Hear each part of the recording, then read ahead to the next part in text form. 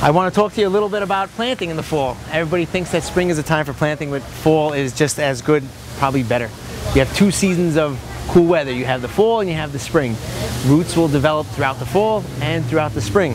And generally the fall is moist enough and the spring usually brings enough rains. The weather's been a little weird lately, but you know what?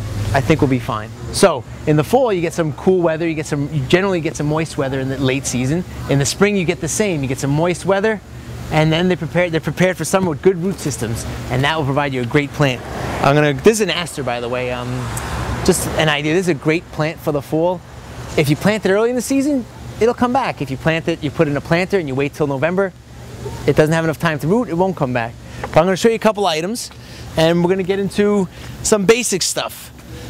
Here's a bowl of basically greens and herbs. This is a great idea for the fall. They can be planted in the fall, they can be harvested in November. You could pick at the bowl all you want. This is arugula. Arugula is a great, um, I guess, leafy green that's bitter. People put on their pizza, they put in their salads. Some people eat it raw, which I actually like to do. There's a couple other items here. There's garlic chives. It's blooming now for some interesting ornamental effect. Rosemary is a great plant. It'll go for a long time, even with a frost. It'll continue to grow. It's not going to die with the first frost. It'll last until we get a heavy freeze. At Copia, we do a lot of uh, fall vegetable crop planting. You can actually, we start seedlings here.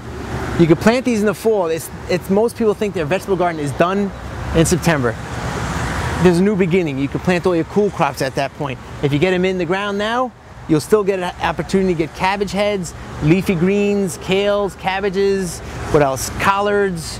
You can do broccoli rabe, which I love. Um, lettuce, Swiss chard. So there's a lot of things you can do in the fall. Don't give up.